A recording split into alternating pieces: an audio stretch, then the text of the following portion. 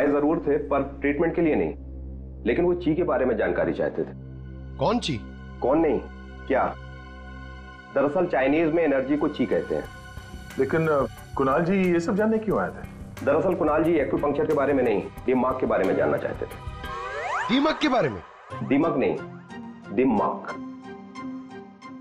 दिमाग? वो आजकल एक वर्ड बहुत ज़्यादा बोलते थे। दिमाग। सविता जी कह रही थी कि कुणाल जी भी कुछ दिमाग दिमाग कह रहे थे तो कहीं वो दिमक तो नहीं कह रहे थे?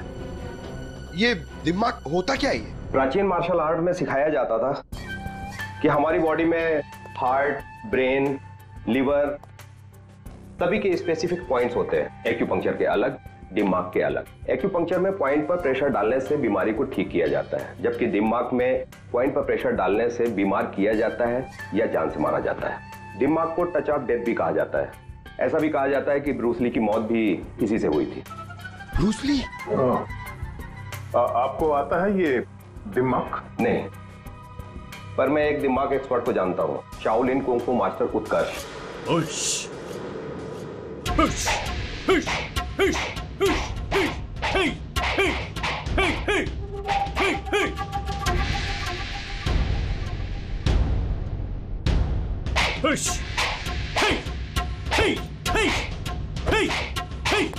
excuse me आप उत्कर्ष हैं? अ, जी कहिए। जी हम सीआईडी से कुछ बात करनी है आपसे। आप कुणाल जी को जानते हैं? कुणाल जी? क्राइम जर्नलिस्ट अभी कोमा में है वो। कोमा में? तो कैसे? हार्ट स्टॉपेज ब्रेन को ब्लड फ्लो नहीं हो रहा था ठीक से। ओ माय गॉड इसका मतलब कुणाल जी सही कह रहे थे। वो कह रहे थे कि एक आदमी दिमक से लोगों को मार रहा है। तब मैंने उनके बातों पर विश्वास नहीं किया। क्यों? दिमक एक हज़ारों साल पुरानी आर्ट है ये कला एक जनरेशन में से सिर्फ़ एक इंसान को सिखाया जाता है। बड़े से बड़े एक्सपर्ट भी इस कला को सीख नहीं पाते। आपको आती है? नहीं। और ना ही पूरे इंडिया में किसी को आता होगा। इतना आसान नहीं। ज़रूर किसी ने दिमक के ट्रिक से कुणाल के बॉडी में एक्स्ट्रा एनर्जी डाला होगा। वो चाइनीज़ मार्शल आर्ट्स वो सर वो क्या होता है वो? जी। जी। एक कुंफू एक्सपर्ट? हवा में से यांग एनर्जी और ज़मीन में से इन एनर्जी को दोनों को कंप्रेस करके और पूरे ताकत के साथ सामने वाले बॉडी पे शूट करता है। सीधे डेथ पॉइंट पे। सॉरी मतलब ये सब एक चाइनीज़ फ़िल्म लगती है।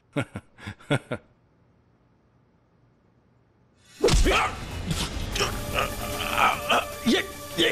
सर जी सर क्या हुआ? ये है ब्रूसली मूव अरे अरे इनको जल्दी ठीक करो। ये क्या कर दिया तुमने? रिलैक्स ये एक दो मिनट में रिलैक्स हो जाएँगे। अपने मुट्ठी बंद करो।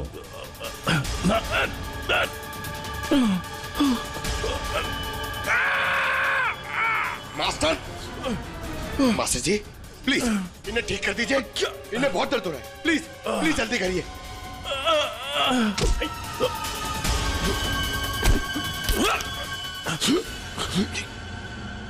सॉरी सर मैं तो सिर्फ़ आपको दिखाना चाह रहा था कि ये कितना खतरनाक है। अच्छा ये दिमाग का इफ़ेक्ट निकालते कैसे फिर से नॉर्मल कैसे होता है? सही वक्त पे सही पॉइंट पे दबाकर उसके बॉडी का सारा एक्स्ट्रा एनर्जी निकालना होगा तो वो ठीक हो जाएगा। नहीं तो बचना मुश्किल है। पूर्वी सर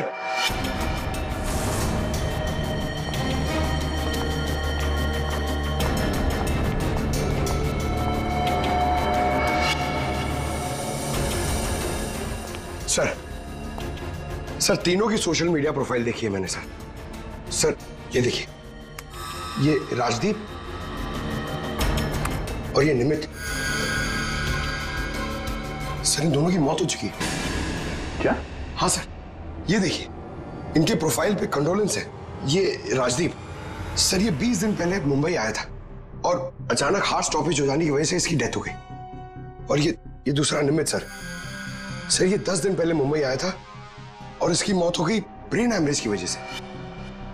और उसके कुछ दिन बाद कुणाल जी पे हमला हुआ। ये कोई इत्तेफाक तो नहीं हो सकता? सर शायद कुणाल जी समझ गए होंगे कि ये दोनों नेचुरल डेथ से नहीं डिमक से मरे हाँ। सर शायद कुणाल जी को पता चल गया होगा कि राजदीप और निमित को किसने मारा है। इससे पहले कि वो किसी को बताते उन पे ही किसी ने अटैक कर दिया। और वो लड़का प्रणव उसका क्या? सर वो आज शाम अब्रॉड से बॉम्बे आ रहा है सर। सर मतलब उसकी जान को भी खतरा है? मगर सर। इन्हें इन्हें मार कौन रहा है?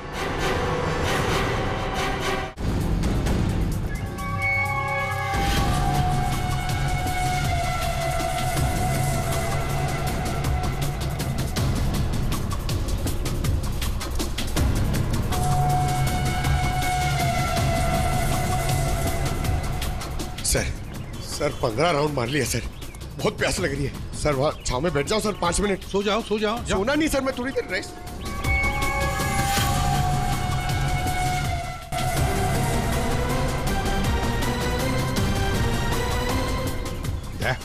उड़ी वाला। Yes sir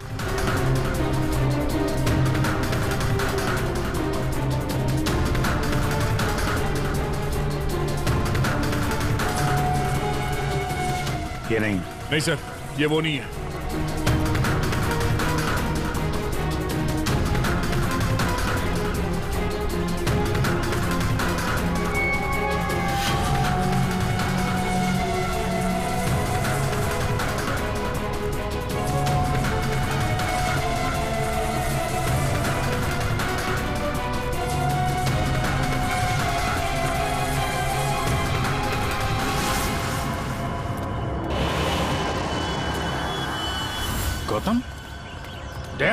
Gautam.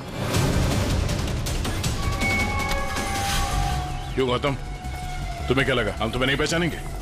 कौन गौतम? छोड़ो मुझे। मेरा नाम तो शशि है। बकवास बंद तुम अगर गौतम नहीं तो फिर ये ये जैकेट तुम्हारे पास कैसे आया? ये तो एक आदमी ने दिया मुझे ठंडी लग रही थी। पकड़ो से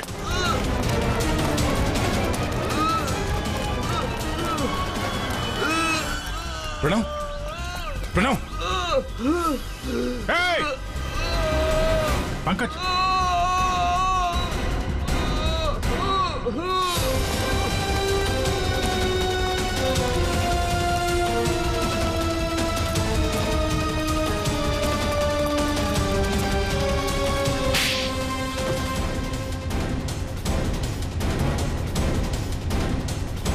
सर गौतम।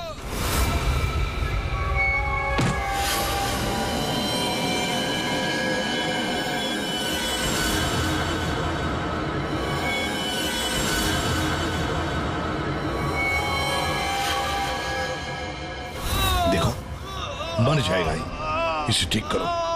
ठीक करो इसे। नहीं। क्या कर दिया तुमने इसके साथ? मर जाएगा ये। ठीक करो इसे। आप मेरे बेटे को ठीक कर दीजिए मैं इसे ठीक कर दूँगा। बोलिए कर सकते हो अब ईशान को ठीक? दे सकते हैं मेरे ईशान की ज़िंदगी उसे वापस। दे सकते हैं। देखो मैं तुम्हारा दुख समझ सकता हूँ। इसको इसके किए की सजा मिलेगी। ईशान को इंसाफ मिलेगा। लेकिन इसको इसको बचा लो तुम। अब इसके पास ज़्यादा वक्त नहीं है। एक अच्छे इंसान की तरह सोचो। बचाओ इसे। सॉरी एसीपी एक बाप बनकर मैंने अपने बेटे को इंसाफ दिलाया। अब एक आर्मी ऑफिसर बनकर मैं सच का भी साथ दूँगा। राजदीप निमित और प्रणव। इन तीनों के मर्डर के लिए मैं अपने आप को सरेंडर कर रहा हूँ। गौतम बचाओ इसे। अपना पागलपन छोड़ दो। देखो गौतम ज़िंदगी भर जेल में सड़ते बैठना पड़ेगा। ईशान के बिना ज़िंदगी बची कहाँ है?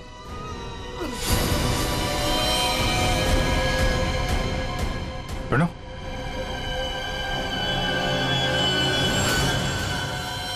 नहीं sir he is no more ये क्या किया तुमने? बस जेल जाने से पहले एक आखिरी काम करना चाहता हूँ।